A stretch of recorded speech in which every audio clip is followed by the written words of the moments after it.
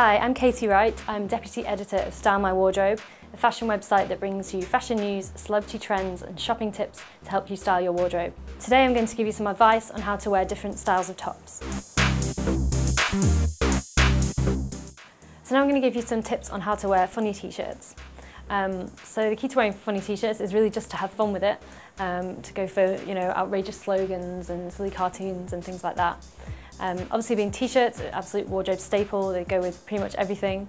Um, great for summertime with shorts um, or with skinny jeans and skirts. Um, you can even use funny t-shirts to sort of dress down a more formal evening look if you take a tailor jacket and pair it with a funny t-shirt. That's a kind of edgy rock chick kind of thing.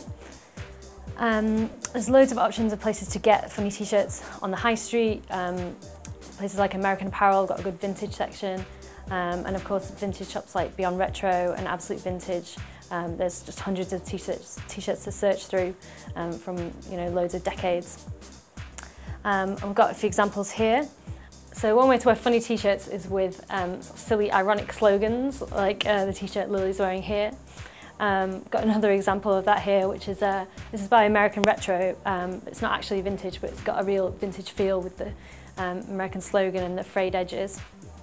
Um, or you can go for something cartoony with a silly slogan as well, um, like this one here, also by American Retro.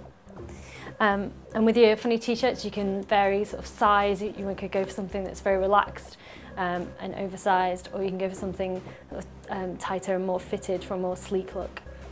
And that's how to wear funny t-shirts.